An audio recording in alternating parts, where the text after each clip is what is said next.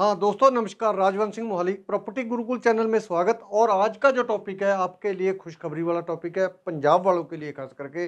पंजाब सरकार ने आज से सवा दो परसेंट ड्यूटी कम कर दी है, जो हमारी सेल डीड के ऊपर, रजिस्ट्रेशन के ऊपर लगती थी। तो ये आज की नोटिफिकेशन है S O twenty five, P A आठ दो हज़ार दो। ये ये सारा आप नोट कर सकते हो। डेटेड अट्ठाईस दो दो हज़ार तेईस। अट्ठाईस फरवरी 2023 को ये नोटिफिकेशन और दूसरी नोटिफिकेशन ये है, जो ये सेक्शन नाइन नौ थी 2023 का, ये भी अठाई दो 2023 की। आज की ही खबर है, अभी खबर मिली है कि आपके लिए एक खुशखबरी हो सकती है। जिन लोगों की रजिस्ट्री पेंडिंग हैं, रजिस्ट्री नहीं कराई, एक मार्च से लेके इकतीस मार्च तक उन रजिस्ट्रियों पर सवा दो परसेंट की सरकार ने छूट दे दी है। ये बहुत खुशखबरी वाली बात है, बहुत ही अच्छी बात है। जिस बंदे ने, जिनकी रजिस्ट्री पेंडिंग है, जिस बंदे ने रजिस्ट्री करवानी है, वो जल्दी से जल्दी रजिस्ट्री करवा के इन बातों का लाभ ले सकता है। Stamp duty on registration of sale deed, reduced by दो पॉइंट पच्ची परसेंट। फ्राम एक तीन दो हज़ार तेईस टू इकतीस दिन दो हज़ार तेईस।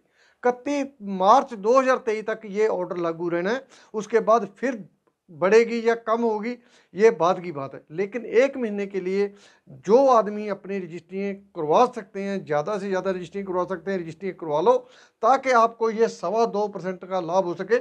इसमें क्या क्या इन्होंने कम किया? स्पेशल इंफ्रास्ट्रक्चर सेस होता था एक परसेंट। वो इन्होंने ख़त्म कर दिया है। पंजाब इंफ्रा डेवलपमेंट फ़ी थी एक परसेंट, वो भी इन्होंने ख़त्म कर दी है। और स्पेशल पंजाब इंफ्रास्ट्रक्चर डेवलपमेंट थी पॉइंट पच्चीस परसेंट। तो ये भी इन्होंने टोटली ख़त्म कर दी है। ये कुल मिला के हमें सवा दो परसेंट का बेनिफिट होने जा रहा है।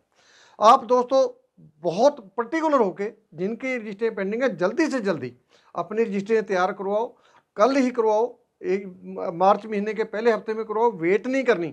जितनी जल्दी करवा सकते करवा के सवा दो परसेंट ये जो है सवा दो परसेंट का लाभ उठाएँ ताकि ये रकम बड़ी भी हो सकती है आपके लिए किसी का थोड़ा है काम तो उसके लिए छोटे वाले के लिए छो, छोटी रिलीफ है बड़े वाले के लिए बड़ी रिलीफ है लेकिन जो आदमी छोटे लेवल के हैं उनके लिए सवा दो परसेंट भी काफ़ी हो काफ़ी माना जाता है।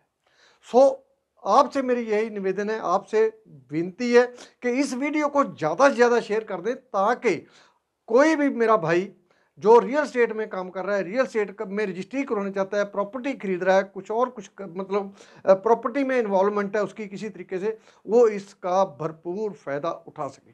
थैंक यू वेरी मच बहुत जल्द नए टॉपिक के साथ आपके सामने होंगे तब तक आप ध्यान रखें आप मेरा साथ देते जाएँ और आगे बढ़ते जाएँ। बहुत जल्द आपके सामने।